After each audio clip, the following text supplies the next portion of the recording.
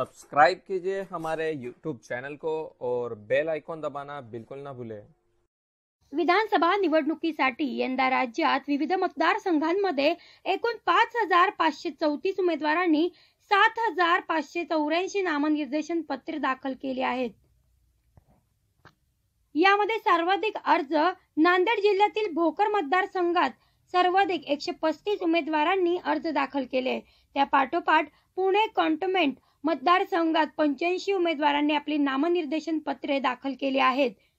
त्याचबरोबर सर्वात कमी अर्ज मुंबईतील माहीम आणि शिवडी या मतदारसंघामध्ये प्रत्येकी चार उमेदवारांनी आपली नामनिर्देशन पत्र दाखल केली आहेत.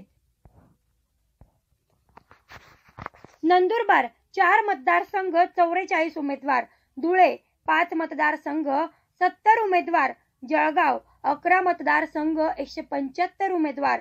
बुलढाणा सात मतदारसंघ पंच्याण्णव उमेदवार अकोला पाच मतदारसंघ एकशे सात उमेदवार वाशिम तीन मतदारसंघ त्रेसष्ट उमेदवार अमरावती आठ मतदारसंघ एकशे शहात्तर उमेदवार वर्धा चार मतदारसंघ चौसष्ट उमेदवार नागपूर बारा मतदारसंघ दोनशे त्रेपन्न उमेदवार भंडारा तीन मतदारसंघ सत्तर उमेदवार गोंदिया चार मतदारसंघ शहात्तर उमेदवार गडचिरोली तीन मतदारसंघ सत्तेचाळीस उमेदवार चंद्रपूर सहा मतदारसंघ एकशे दहा उमेदवार यवतमाळ सात मतदारसंघ एकशे छत्तीस उमेदवार नांदेड नऊ मतदारसंघ चारशे दोन उमेदवार हिंगोली तीन मतदारसंघ अठ्ठावन्न उमेदवार परभणी चार मतदारसंघ अठ्ठ्याऐंशी उमेदवार जालना पाच मतदारसंघ एकशे पन्नास उमेदवार औरंगाबाद नऊ मतदारसंघ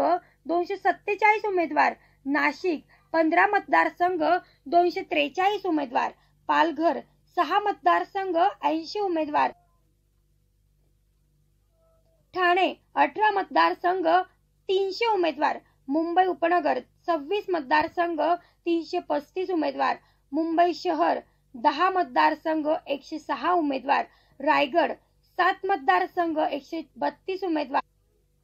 पुणे एकवीस मतदारसंघ चारशे एक्केचाळीस उमेदवार अहमदनगर बारा मतदारसंघ दोनशे तीन उमेदवार बीड सहा मतदारसंघ दोनशे बत्तीस उमेदवार लातूर सहा मतदारसंघ एकशे पस्तीस उमेदवार उस्मानाबाद चार मतदारसंघ ब्याण्णव उमेदवार सोलापूर अकरा मतदारसंघ दोनशे त्र्याहत्तर उमेदवार सातारा आठ मतदारसंघ एकशे पंचवीस उमेदवार.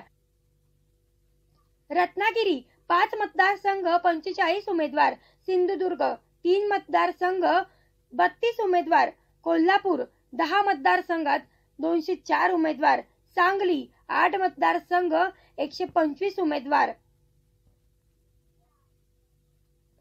आणि त्याचबरोबर आता किती उमेदवार निवडणुकीच्या मैदानात आपला उमेदवारी अर्ज कायम ठेवतील हे माघारी नंतर स्पष्ट होईल.